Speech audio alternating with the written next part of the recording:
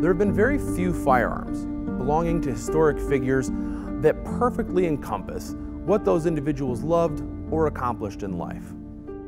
President Teddy Roosevelt had his 1895 Winchester on both his hunts as well as his time in Cuba with the Rough Riders. Davy Crockett had Old Betsy. Jim Corbett had his 275 Rigby. Herb Parsons had his Model 12.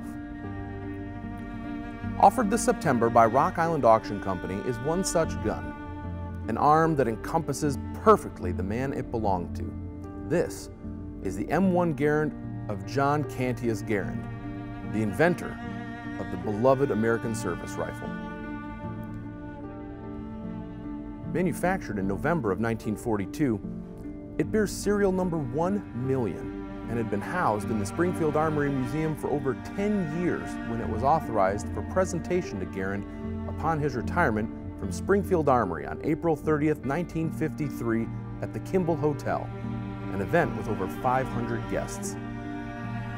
With an exceptional, striated, beautifully figured walnut stock and highly polished bluing, the gun immediately stands out from any other M1 Garand you've seen.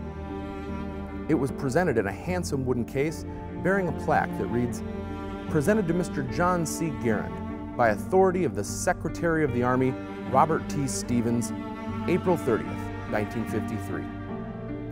Inside the case was not only this stunning rifle, but a silver-plated en-bloc clip and eight gold-plated cartridges.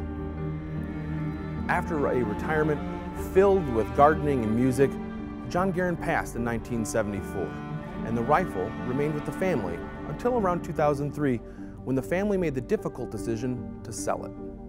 They didn't want to sell it to just anyone, and so hosted several interviews with potential buyers. One of them was former NRA President Allan Cors.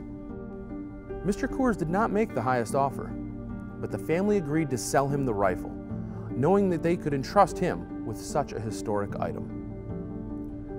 After displaying the item on loan at the NRA National Firearms Museum for several years, Mr. Cors has decided to sell this incredible and iconic rifle.